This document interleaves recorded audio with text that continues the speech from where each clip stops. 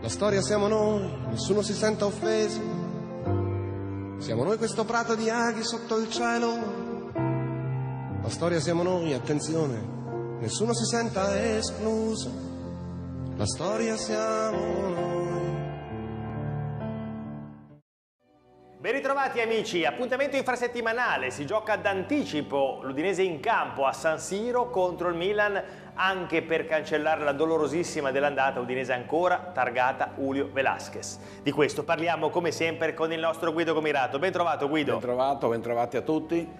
Noi andiamo a ripercorrere un, una carrellata di risultati, sono tre pareggi e tre pareggi gollosi, permetteteci questo stranissimo aggettivo, con veramente tanti gol. Poi vedremo se eh, il segno X è predominante o meno insieme al nostro Guido o solo se è un'incidente casualità in questo caso. Partiamo dal primo anno di Zico, gennaio 1984 finisce 3-3 e quell'udinese va a recuperare il risultato nel segno del Galigno, ma soprattutto di Franco Causio.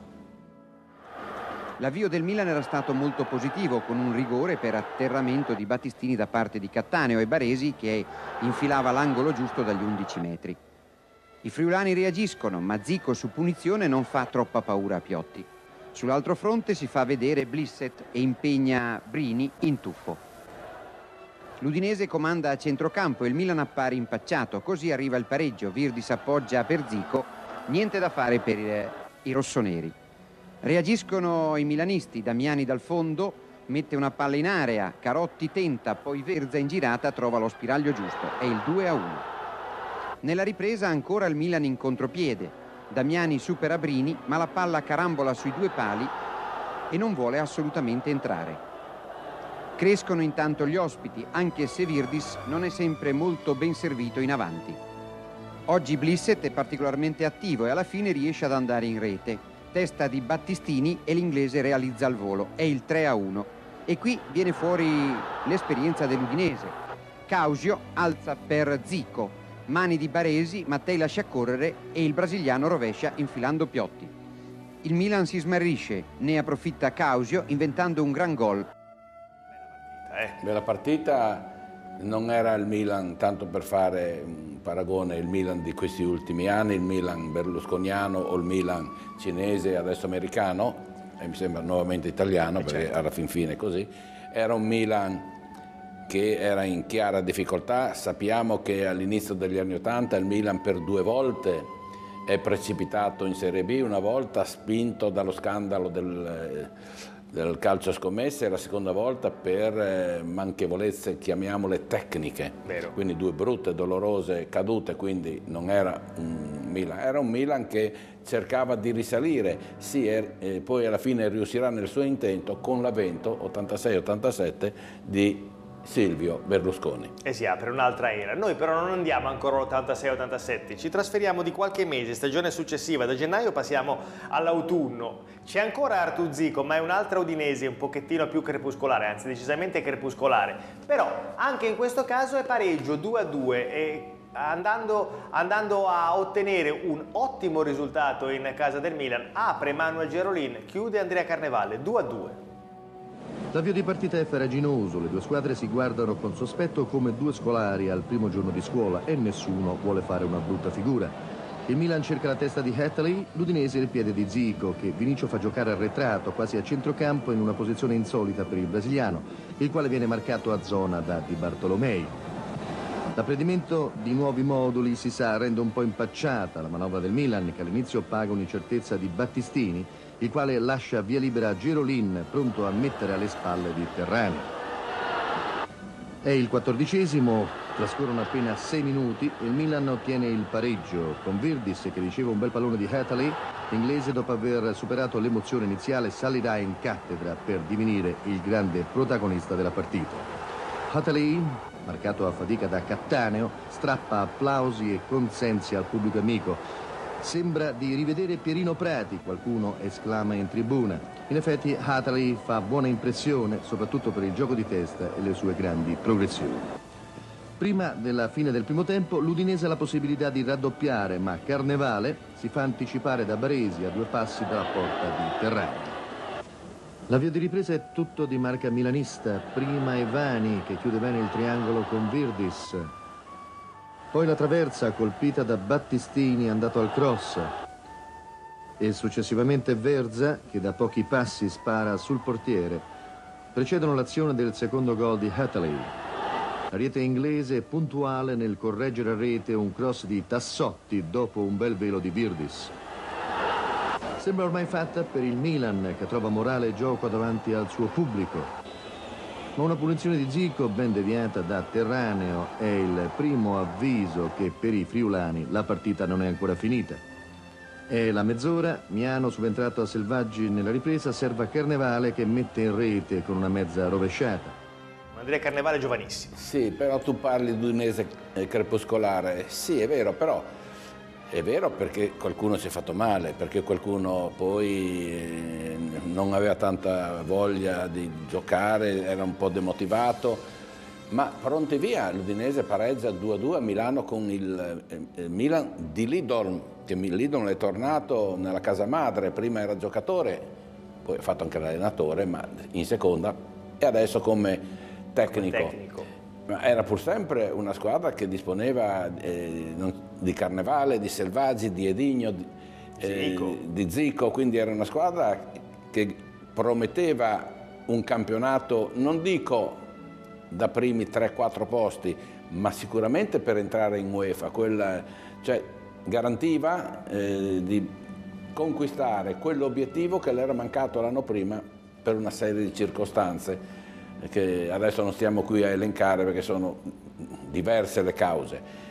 Purtroppo mh, Zico alla seconda giornata si gioca col Milan 2-2 di cui parliamo, si gioca in casa con la Lazio 5-0 per l'Udinese con la Lazio, tutti che sognano, tutti che si illudono, però proprio con la Lazio Zico nella sua via Crucis cade per la prima volta eh, sì. perché ha subito un, uno stiramento muscolare.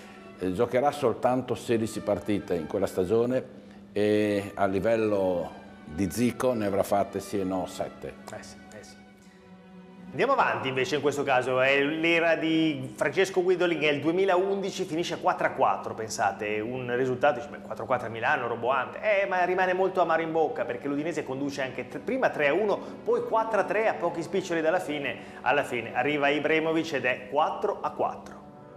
Lo batte Robigno, pallone verso Strasser che ci arriva, c'è patina di rigore sinistro, alto di Pato, prima palla gol, importante per il Milan, sui piedi del Papero. Ma intanto in maglia bianconera a saltare dentro tra cui Zapata che solissimo gira in porta non trovando il gol dell'1-0 c'è largo Isla l'ha visto adesso. Sceltonini su Isla, lì vicino c'è Abdi dentro di Natale, palla va per Sanchez, Hiller è solo, può calciare per la terza volta col sinistro, stavolta prende il palo e poi segna Totò di Natale in posizione regolare, sesto gol a San Siro, il settimo al Milan, 1-0 per l'Udinese 30 metri Sedorf, largo per Ibrahimovic, vediamo se inventa lui qualcosa, Ibra controlla, punta Domizzi, ancora Ibrahimovic, va sul destro che arriva al centro per Pato! Il Papero fa 1-1 all'ultimo istante del primo tempo, Ibra per Pato, pareggia il Milan.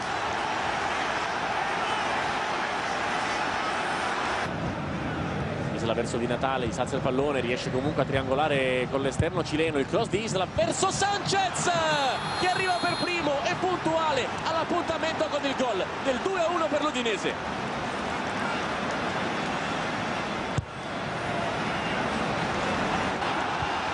Perde una bruttissima palla Sedorf e Hiller lancia Di Natale contro Bonera uno contro uno. Di Natale in area di rigore va sul destro Di Natale destro! Di Natale 3 a 1 per l'Udinese a San Siro dalla palla persa da Sedorf l'Udinese adesso dilaga.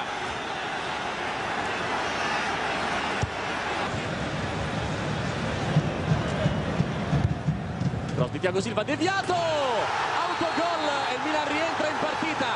Credo Benassia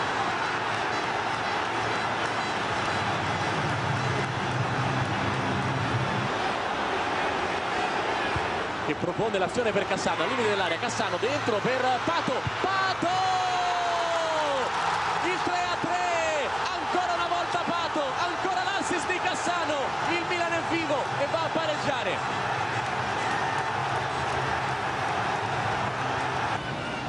c'è Isla da solo completamente, Isla è completamente solo in area di rigore, c'è anche Dennis al centro, pallone per Dennis, incredibile, ha segnato l'Udinese, 4 a 3 all'89esimo, German Dennis, pazzesco!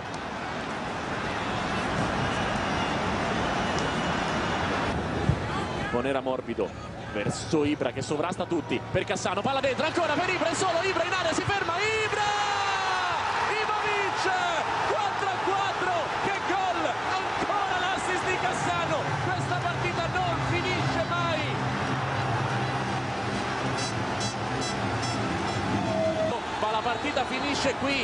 Per le coronarie dei tifosi e per la voce che non abbiamo più, finisce 4 a 4. Un peccato. È un peccato, una gara rocambolesca, eh, l'Udinese sotto, l'Udinese rimonta, l'Udinese davanti, l'Udinese in mano alla partita, poi ecco che San Ibrahimovic segna, però ci sono state delle proteste non vibranti, ma delle proteste a mio avviso giustificate molto, perché Ibrahimovic aveva commesso fallo molto, saltando, quindi il gol doveva vero, essere annullato, vero, vero, ma i bianconeri, sai, quando l'arbitro non c'era il VAR, quando l'arbitro decreta il gol al Milan non, tor non, torna indietro. non torna indietro. Ripeto, quella volta non c'era il VAR, per cui ma è stato un peccato perché l'Udinese ha giocato meglio del Milan che alla fine conquisterà lo scudetto.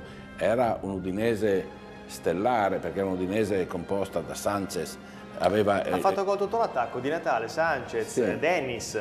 Sì, ma aveva un bomber di scorta Dennis che poi andrà a, far, for a far, fortuna nell'Atalanta. Certo, Io so che certo. i tifosi dicono perché non l'abbiamo tenuto, ma Udinese non eh, può tenere eh, tanti giocatori perché non può lasciare fuori poi dei giocatori importanti perché vengono svalutati. Certo. L'Udinese ha il dovere sacrosanto di difendere il proprio patrimonio. Se Dennis fosse rimasto non avrebbe poi preso quei quattrini, non tanti ma neanche pochi che gli ha garantito l'Atalanta. poi ci sono anche i giocatori che vogliono giocare. Eh, insomma, io mi ricordo, sono altri che, che dicevano ma se io non gioco nell'Udinese eh, voglio andare via. Eh, eh questo è evidente, è gente, normale, il eh. tifoso purtroppo eh, si illude, il tifoso a volte, a volte quasi sempre ragiona col, col, cuore, io li capisco per amor di Dio, però la, il calcio è un'azienda che se ne dica, i criteri di guidare una squadra di calcio, di gestire una squadra di calcio sono gli stessi con i qua, eh, che vanno, vanno messi avanti, portati avanti per la gestione di una qualsiasi azienda economica. Con la differenza che l'azienda economica deve raggiungere, io vendo tot e incasso tanto e cerco di stare a galla, cerco di essere sempre inutile la società di calcio gestita come azienda deve portare avanti due risultati, deve ottenere due risultati in, in parallelo, quello economico e quello sportivo. Viceversa. Guido, eh, a livello di precedenti ne abbiamo fatto vedere tre pareggi. Sì, però il Milan, eh, il Milan eh, i pareggi hai fatto bene a ricordare, perché i pareggi sono frequenti nell'asse Udinese-Milan, sono 32, sono 32 in 87 incontri, quindi sono notevoli, sono 39 ahimè le sconfitte dell'Udinese ad opera del Milan e le vittorie 16, ovvio che il Milan eh, avendo vinto 39 incontri contro 16 sia decisamente in vantaggio anche per quanto concerne i gol realizzati. 149 è seconda in questa speciale classifica dietro la Juventus e dietro la Roma. Guido, doppi ex, così te ne snocciolo tre che mi vengono in mente, Allegri, Giacomini, Montari.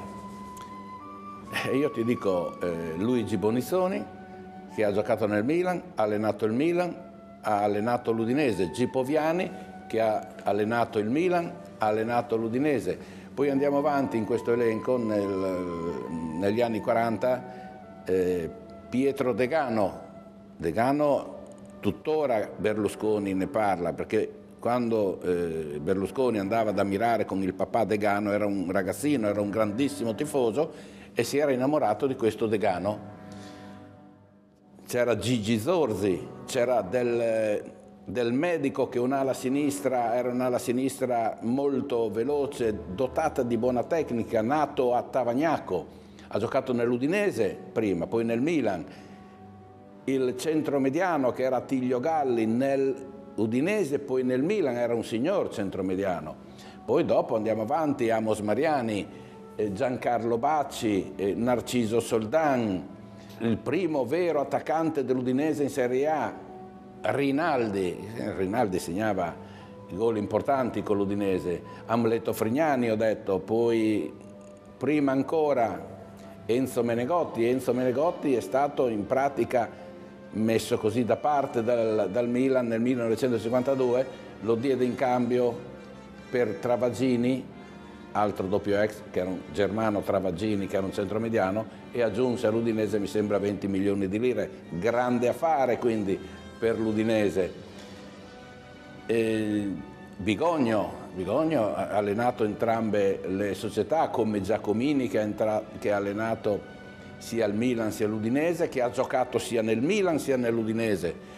L'elenco è molto, è molto, lungo perché dopo possiamo andare avanti con... Eh, eh, la storia diventa inevitabilmente il presente, Birov, Helvek. Quelli te, li ho, quelli te li ho lasciati perché erano veramente Biro, insomma, erano comodi comodi, Zaccheroni, Zaccheroni quindi, ha avuto giocatori importanti l'Udinese, l'ultimo è Cristian Zapata, Cristian Zapata. Che il suo dovere lo ha fatto Eccomi. nel Milan, Ian Kulowski, come facciamo a dimenticare di Ian Kulowski, per cui eh, la rosa non, non, ci sono tantissimi nomi, eh, ad onore del vero, ma ci sono nomi di, di, qualità pesanti, hai detto bene, eh, perché per esempio, non so, Udinese e Genoa sono più doppi sì, ex. Sì, però non, non, non, parliamo, non, parliamo, di Udinese Inter. Ma, ma in questo caso qui hanno lasciato il segno con una maglia e con l'altra. Amici, noi ci dobbiamo fermare e ci ritroveremo, eh, stessa, stesso canale ovviamente e stesso tipo di format, per parlare di un altro match casalingo dopo quello con il Genoa, un'altra partita da vincere sulla via della salvezza. Ovviamente, sempre insieme al nostro Guido Comirato. Grazie Guido di averci grazie accompagnato. A te, grazie a tutti. Grazie per i tuoi ricordi e la tua conoscenza enciclopedica. Amici, ci vediamo presto. Buon proseguimento.